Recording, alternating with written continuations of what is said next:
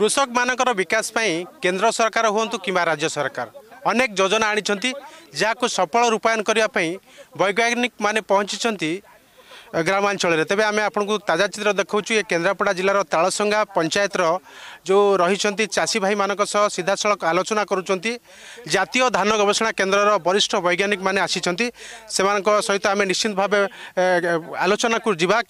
ଯେତେବେଳେ ଚାଷୀମାନଙ୍କର ସମସ୍ୟା ଆସୁଛି ଧାନରେ କିଭଳି ଭାବେ ପୋକ ଲାଗୁଛି ଅନେକ ସମସ୍ୟା ରହୁଛି ଏ ନେଇ ଆମ ସହିତ ଡକ୍ଟର ରଥ ଯୋଡ଼ି ହେଉଛନ୍ତି।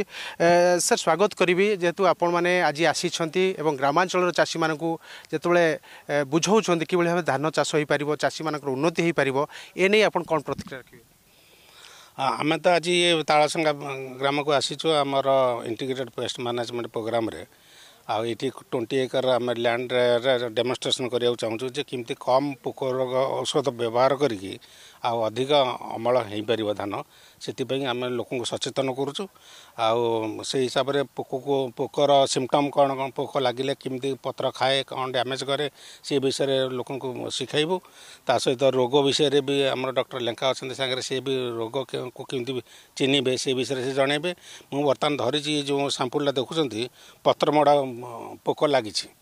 ତା'ର ଏଇ ଧଳା ଧଳା ଯେଉଁ ଚିହ୍ନ ଗୁଡ଼ାକ ରହିଛି ତାର ଏ ପତ୍ରର ସବୁଜ ଅଂଶ ସେ କରିକି ଖାଇ ନେଉଛି ସେଥିପାଇଁ ଇଏ ପତ୍ର ସବୁ ଧଳା ଧଳା ପଡ଼ିଯାଉଛି ପରେ ଇଏ ତାର ଏହାର ଅମଳ କମିଯିବ। ଯଦି ଆମେ ତାର ପ୍ରତିକାର ନ କରିବା ଔଷଧ ବ୍ୟବହାର ନ କରିବା ତେବେ ଏ ପୋକର ଡ୍ୟାମେଜ ସକାଶେ ଏହାର ଅମଳ କମିଯିବ। ସାର୍ କୁହାଯାଉଛି ଯେତେବେଳେ ଧାନ ଚାଷ ଜଣେ ଚାଷ ଚାଷୀ କରୁଛି ସେ ତଳା ସମୟର କେତେ ଦିନ ପରେ ସେ ରୋପଣ କରିବ ତାର ରକ୍ଷଣାବେକ୍ଷଣ ତାର ଯତ୍ନ ଯେଉଁ ରହିଛି ଏ ସମ୍ପର୍କରେ କ'ଣ କହିବାକୁ ଚାହୁଁଛନ୍ତି ହଁ ପ୍ରଥମ ପ୍ରଥମେ କହିବା ଦରକାର ଯେ ଚାଷୀ କେମିତି କମ୍ ପଇସା ଖର୍ଚ୍ଚ କରି ଅଧିକା ଲାଭବାନ ହେବ। ଚା- ସେମିତି ଲାଭବାନ ନହେଲେ ଚାଷୀ ଚାଷ ଛାଡ଼ିଦେବ।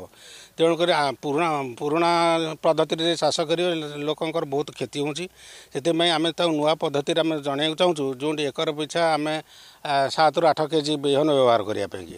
ଆଗରୁ ସେମାନେ ପନ୍ଦର କୋଡ଼ିଏ କେଜି ବ୍ୟବହାର କ- ବ୍ୟବହାର କରୁଥିଲେ। ତେଣୁ ତାଙ୍କର ବିହନର ଦାମ କମ୍ କମିଗଲା। ତଳିଆର ପ୍ରସ୍ତୁତିରେ ବି ପଇସା କମ୍ ଲାଗିଲା। ତ ଲେବର ବି କମ୍ ଲାଗିଲେ ତାକୁ ପଡ଼ିବା ପାଇଁକି ଟ୍ରାନ୍ସପ୍ଲାଣ୍ଟିଂ କଲାବେଳକୁ ବି ତାଙ୍କର ଯେତେବେଳେ ରୋଇଲା ବେଳକୁ ବି ଖର୍ଚ୍ଚ କମିଲା।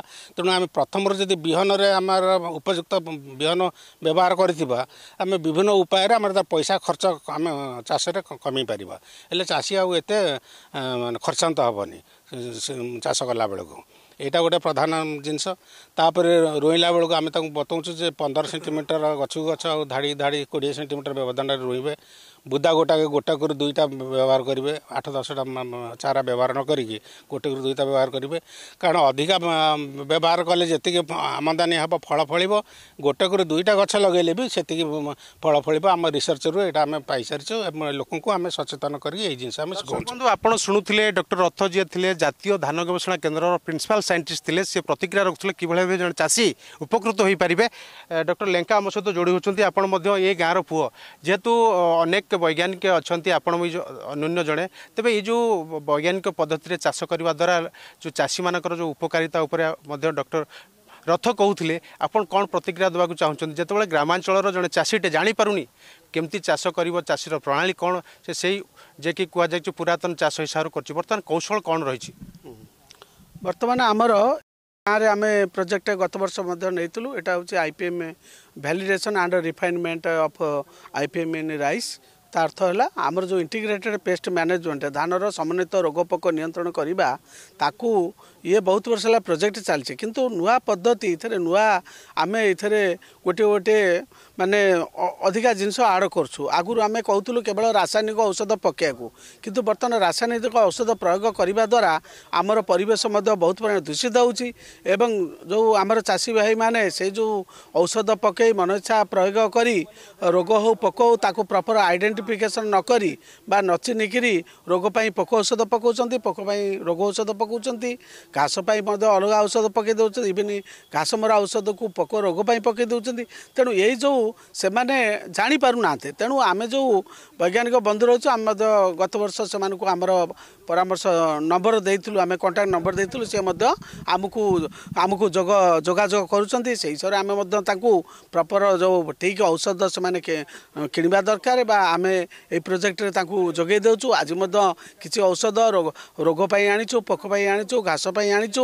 ସେ ଔଷଧକୁ ଆଜି ଆମେ ଏଇ ପ୍ରୋଜେକ୍ଟ ପାଇଁ ଚାଷୀ ଭାଇମାନଙ୍କୁ ତାଙ୍କୁ ଦେବୁ। ସେମାନେ ଏ ରୋଗ ପୋକ ଆମେ ଚିହ୍ନେଇବୁ ଯେ ଏଇ ରୋଗ ପୋକ ପାଇଁ ଏଇ ଔଷଧ ପକାଇବେ। ସେଇ ହିସାବରେ ଆଉ ଠିକ୍ ମାତ୍ରାରେ ପକାଇବେ। ଆଉ ତାର ଏକ୍ସପାୟରି ଦେଖିବେ ଯେ ଔଷଧର ମାନେ ଯେଉଁଟା ତାର ଯେଉଁ ଶେଷ ତାରିଖ ଯେ ଠିକ୍ ଅଛି କି ନାହିଁ। କାରଣ ଶେଷ ତାରିଖ ଯଦି ପଳେଇ ଯାଇଥିବ ଯଦି ଔଷଧ ପକାଇବେ ତାହେଲେ ସେ ରୋଗ ପୋକ ନିୟନ୍ତ୍ରଣ ନ ହୋଇକିରି ଆହୁରି ତାଙ୍କର ସଂଖ୍ୟା ବଢ଼ିଯିବ। ତାକୁ କହନ୍ତି ପେଷ୍ଟ ରିସର୍ଜେନ୍ସ ତେଣୁ ସେଇ ହିସାବରେ ତେଣୁ ଚାଷୀ ଭାଇମାନେ ସେମାନେ ତ ଭଲ ଚାଷୀ ଏ ଗାଁର ସବୁ ଆଗୁଆ ଧାଡ଼ିର ସେଇଥିପାଇଁ ପ୍ରୋଜେକ୍ଟ ନେଇଛୁ କିନ୍ତୁ କେତେକ ତାଙ୍କ ପାଖରେ ଯେଉଁ ଜ୍ଞାନର ଅଭାବ ରହିଯାଉଛି ଟେକ୍ନିକ୍ର ଅଭାବ ରହିଯାଉଛି ସେଥିପାଇଁ ଆଜି ଆମେ ପ୍ରୋଗ୍ରାମ ରଖିଛୁ। ଆମେ ମଧ୍ୟ ଏଇ ଟୋଟାଲ୍ କରିବି ଋତୁରେ ଆମେ ଆହୁରି କେଇ ଥର ଆସିବୁ ସେମାନଙ୍କ ସହିତ ସବୁ ପ୍ରପର ଆଇଡେଣ୍ଟିଫାଇସ୍ କରିବୁ ମନିଟରିଂ କରିବୁ। ତାରି ବିଷୟରେ ଆମେ ମଧ୍ୟ ଆଜି ଏ, ଜୀବାଣୁ କଲଚର ଆଣିଛୁ ଆଉ ମଧ୍ୟ ଆମେ ଆଣିଛୁ ଫେରମୋନ ଟ୍ରାପ୍ ଆଣିଛୁ ସେ ଜନ୍ତା ସେମାନେ କେୟାରରେ ବସେଇବେ ସେଥିରେ ପୋକ ଆସି ପଡ଼ିବେ ସେଥିରେ ମାନେ ଜାଣିପାରେ ସେ ପୋକକୁ ଦେଖିକିରି ସେମାନେ କହିବେ ଆମେ ମଧ୍ୟ ତାଙ୍କୁ ଯୋଗାଯୋଗ କରି କହିବୁ ଏଇ ପୋକ ରୋଗ ହେଇଛି ତା ପାଇଁ ଏଇ ଔଷଧ ପକାଇବେ। ତେଣୁ ଏଇଟା ଗୋଟେ ବହୁତ ବଢ଼ିଆ ପ୍ରକଳ୍ପ ଯଦ୍ୱାରା ଆମେ ପରିବେଶକୁ ଦୂଷିତ କରିବା ଦେବା ଆଜ୍ଞା, ନାହିଁ। ପୂର୍ବରୁ ଯେଉଁ ଚାଷୀମାନେ ଜୈବିକ ସାରର ପଦ୍ଧତି କହୁଥିଲେ ଗୋବର ଖତ ହେଉ କିମ୍ବା ଅନ୍ୟାନ୍ୟ ପିଡ଼ୁଆ ହେଉ ସେମାନେ ବର୍ତ୍ତମାନ ମିଳୁନି ବୋଲି ଯାହା ଅଭିଯୋଗ ଆସୁଛି କିନ୍ତୁ ରାସାୟନିକ ସାର ଉପରେ ଯେତେବେଳେ ଅଧିକ ପରିମାଣରେ ଚାଷୀଟେ ନିର୍ଭର କରୁଛି ସେହି ପରିପ୍ରେକ୍ଷୀରେ କ'ଣ ତାକୁ ଟିପ୍ସ ଦେବାକୁ ହଁ ମୁଁ ସେଇଆ ଯାଉଛି। ଆକ୍ଚୁଆଲି ମୁଁ ମଧ୍ୟ ଅନୁରୋଧ କରୁଛି ଯେ ଆପଣମାନେ ଯେଉଁ ଆଗରୁ ଆମର ଦହିଚା ଥିଲା ଛଣପଟି ଥିଲା ତାକୁ କହନ୍ତି ଦହିଚା ସନେପେ ଏଗୁଡ଼ା ଯେଉଁ ସବୁ ଚାଷ କରାଯାଉଥିଲା ଆଜିକାଲି ଅଧିକାଂଶ କରୁନାହାନ୍ତି କହୁଛନ୍ତି ଯେ ଦହିଚା ମଞ୍ଜିର ଅଭାବ ଅଛି। କିନ୍ତୁ ଆପଣଙ୍କର ଦହିଚା ମଞ୍ଜି ମଧ୍ୟ ମିଳିବ। ଆଉ ଗୋଟେ କଥା ଆପଣ ପ୍ରତ୍ୟେକ ନିଜର ବାଡ଼ି ପଛରେ ଗୋଟେ ଗୋଟେ ଆପଣଙ୍କର ଚାରି ଫୁଟରେ ଚାରି ଫୁଟ ବା ଛଅ ଫୁଟରେ ଚାରି ଫୁଟ ଆପଣ ଗୋଟେ ଗାତ ଖୋଳିକିରି ନିଜର ଯେଉଁ ପନିପରିବା ହେଲା ବା ଗାଈର ଗୋବର ହେଲା ଅବଶ୍ୟ ଏବେ ବଳଦ ସଂଖ୍ୟା କମିଗଲାଣି। କିନ୍ତୁ ଯାହା ହେଉଛି ନହେଲେ ଅନ୍ୟ ଜିନିଷ ଆଣିକିରି ସେଥିରେ ପକେଇକିରି ସେ ଗୋବର ଖତ ପ୍ରୟୋଗ କରନ୍ତୁ। ନାଇଁ ତ ବର୍ତ୍ତମାନ ଆମର ଭର୍ମି କମ୍ପୋଷ୍ଟ ବା ଜିଆ ଖତ ମଧ୍ୟ ଆରମ୍ଭ ହେଲାଣି। ଆମେ ମଧ୍ୟ ଗୋଟେ ୟୁନିଟ୍ ଆରମ୍ଭ କରିଛୁ। ଆପଣଙ୍କର କଦଳୀ ପତ୍ର ହେଉ ପନିପରିବା ଚୋପା ହେଉ ବା ଆପଣଙ୍କର ଇଭିନ୍ ଆପଣଙ୍କର ନଡ଼ା ହେଉ ତାକୁ ମଧ୍ୟ ଆପଣ ପକେଇ ସ୍ତର ବାଇ ସ୍ତର ବାଇ ପକେଇ କଞ୍ଚା ଗୋରୁ ପକେଇ ଭର୍ମି କମ୍ପୋଷ୍ଟ ଜିଆ ଖତ ମଧ୍ୟ କରିପାରିବେ। ସେ ଜିଆ ଖତକୁ ମଧ୍ୟ ଆପଣ ଧାନ କ୍ଷେତ୍ରରେ ପ୍ରୟୋଗ କରି ଅନ୍ୟ ମଧ୍ୟ ବାଇଗଣ ପନିପରିବା ଫୁଲ ଏଥିରେ ମଧ୍ୟ ପକାଇ ଆପଣମାନେ ସେଥିରୁ ଯଥେଷ୍ଟ ଫାଇଦା ନେଇପାରିବେ। ଆମେ ଯିବା ଡକ୍ଟର ଶେଷ ପ୍ରତିକ୍ରିୟା ରହିବ। ଆଜ୍ଞା ଯେତେବେଳେ କୁହାଯାଉଛି ଧାନ ଚାଷ ପରେ ଖାଲି ପଡ଼ୁଛି ଜମି ତେବେ ଏ ଯେଉଁ ଧାନ କ୍ଷେତ୍ରରେ ଆଉ କିଛି ଚାଷ କଲେ ଚାଷୀ ଉପକୃତ ହୋଇପାରିବ? ଏମିତି କିଛି ରହିଛି? ହଁ ଧାନ ଆମର କ୍ରପ୍ ରୋଟେସନ୍ ଅଛି। ଧାନ ସହିତ ଆମେ ପଲ୍ସେସ୍ ଯେଉଁଟା ଆମେ ଡାଲି ଜାତୀୟ ଚାଷ ବି କରିପାରିବୁ। ଡାଲି ଜାତୀୟ ଚାଷ କରିବା ଦ୍ୱାରା ତାଙ୍କର ଚେରରେ ଯେଉଁ ନାଇଟ୍ରୋଜେନ୍ ଫିକ୍ସେସନ୍ ହୁଏ ସେଇଟା ଧାନର ଜମିର ଉର୍ବରତା ବଢ଼ାଏ। ଆଉ ଜମିରେ ସେଇ ଜମିରେ ଅନ୍ୟ ଫସଲ କଲାବେଳକୁ ସେ ନାଇଟ୍ରୋଜେନ୍ଟାକୁ ଅନ୍ୟ ଫସଲ ତାକୁ ଗ୍ରହଣ କରେ। ତେଣୁ ରୋଟେସନ୍ କରିବା ଦ୍ୱାରା ପୋକ ରୋଗର ଯେଉଁ ବଂଶ ବୃଦ୍ଧି ହୁଏ ସେଇଟା ବି କମିଯାଏ। ଆଉ ଧାନରେ ମାନେ ଫଳିବା ଶକ୍ତି ବଢ଼ିଯାଏ ଆଉ ଲୋକ ଲାଭବାନ ହୁଅନ୍ତି। ତେଣୁ ଆମେ ରୋଟେସନ୍ କରି ଧାନ ଆଉ ଡାଲି ଜାତୀୟ ଫସଲ ତାପରେ କିମ୍ବା ଧାନ ତୈଳବୀଜ ଫସଲ ଏମିତି କରିକି ଆମେ ରୋଟେସନ୍ କରିକି ଆମେ ଫସଲ ଉତ୍ପାଦନ କ୍ୟାମେରା ପର୍ସନ୍ସକୁ କହିବି ସରୋଜକୁ କହିବି ସେ ଦେଖେଇବେ ଯେଉଁ ଚାଷୀମାନେ ଆଜି ଏଠି ପ୍ରଶିକ୍ଷଣ ଶିବିରରେ ଯୋଗ ଦେଇଥିଲେ ଏବଂ ପୁରା ଶୁଣୁଥିଲେ ତମାମ ପ୍ରତିକ୍ରିୟା ଶୁଣୁଥିଲେ ଡକ୍ଟର ରଥ ଥିଲେ ଡକ୍ଟର ଲେଙ୍କା ଥିଲେ ଯିଏ ଅଛନ୍ତି ଓଡ଼ିଶାର ସୁନାମ ଧନ୍ୟ ଦୁଇ ଜଣ ବୈଜ୍ଞାନିକ ଆସିଥିଲେ। ଆଜି ତାଳସଙ୍ଗା ପଞ୍ଚାୟତରେ ଯେଉଁ ପ୍ରକାର ଆ, ସ୍ଥିତି ଥିଲା ନିଶ୍ଚିତ ଭାବେ କହିବା ଚାଷୀମାନଙ୍କର ସମସ୍ୟାକୁ ନେଇ ସେ ଆ, କିଭଳି ଭାବେ ପ୍ରଶିକ୍ଷଣ ଦେଇଥିଲେ ଜୈବିକ ସାର ଉପରେ କହୁଥିଲେ ଅନ୍ୟ ପକ୍ଷରେ କହିବା ଯେତେବେଳେ ଧାନ ଚାଷ ପରେ ଚାଷୀଟେ ମୁଣ୍ଡରେ ହାତ ଦେଇ ବସୁଛି ଯେତେବେଳେ ଧାନ କ୍ରପ୍ଟି ଖରାପ ହୋଇଯାଉଛି ସେହି ପରିପ୍ରେକ୍ଷୀରେ ଆ, କୌଣସି ତୈଳବୀଜ ଚାଷ କ- ବା କୌଣସି ଡାଲି ଜାତୀୟ ଚାଷ କରିବା ପାଇଁ ସେ ମଧ୍ୟ ପରାମର୍ଶ ଦେଉଥିଲେ ବରିଷ୍ଠ ଚାଷୀ ଆମ ସହିତ ଯୋଡ଼ି ହେଉଛନ୍ତି। ଆଜ୍ଞା ଯେଉଁ ବଡ଼ ବଡ଼ ବଡ଼ ବୈଜ୍ଞାନିକମାନେ ଆସିଥିଲେ ଅ, ଜାତୀୟ ଧା- ଧାନ ଗବେଷଣା କେନ୍ଦ୍ର ଡକ୍ଟର ଲେଙ୍କା ଏବଂ ଡକ୍ଟର ରଥ ଆସିଥିଲେ ଆପଣମାନେ ପ୍ରଶିକ୍ଷଣ ଦେଲେ କେତେ ଆପଣ ପ୍ରଶିକ୍ଷଣ ଶିକ୍ଷା ଲାଭ କଲେ? ଆମ- ଯେଉଁ ପ୍ରଶିକ୍ଷଣ ଦେଲେ ସେ ଉଚିତ ପ୍ରଶିକ୍ଷଣ ଦେଇଛନ୍ତି ଆଉ ଉଚିତ ମାର୍ଗରେ ବି ଚାଷୀମାନେ ଯିବେ। ତେବେ ଆମେ ମଧ୍ୟ ଆଶା ରଖିବା ଉଚିତ ମାର୍ଗରେ ଚାଷୀମାନେ ଯିବେ। ଆଜ୍ଞା ଆପଣ କେ- କେତେ ଏହାକୁ ଅନୁଭବ କଲେ? ହଁ ବହୁତ ଅନୁଭବ କଲୁ ଠିକ୍ କଥା କହିଲେ ଆଉ ଔଷଧ ପତ୍ର ବି ଦେବେ ବି କହିଛନ୍ତି ଆଉ ତେବେ ତେବେ କହିବା ମାଗଣାରେ ମଧ୍ୟ ଔଷଧ ମିଳିବ ବୋଲି ଯାହା ଚାଷୀମାନଙ୍କର ମନରେ ଗୋଟେ ଖୁସି ବ୍ୟକ୍ତ କରୁଛି କିଛି ଯୁବ ଚାଷୀ ଆମ ଆମ ସହିତ ଯୋଡ଼ି ହେଉଛନ୍ତି। ଏଇ ଯେଉଁ ଆସିଥିଲେ ବୈଜ୍ଞାନିକମାନେ ଆପଣଙ୍କୁ ପଦ୍ଧତିରେ ବୁଝିଲେ ଜୈବିକ ଖତର କଥା କହିଲେ ଅନ୍ୟ ପ୍ରକାର କିମ୍ବା ଧାନ ଚାଷ ପରେ ମଧ୍ୟ ତୈଳବୀଜ ହେଉ କିମ୍ବା ଅନ୍ୟାନ୍ୟ ମୁଗ ଜାତୀୟ ଚାଷ ମଧ୍ୟ କରିବା ପାଇଁ କହିଲେ। କେତେ ଖୁସି ଆପଣ ଅନୁଭବ କରୁଛନ୍ତି? ନାଇଁ ଖୁସି ତ ନିଶ୍ଚିନ୍ତ।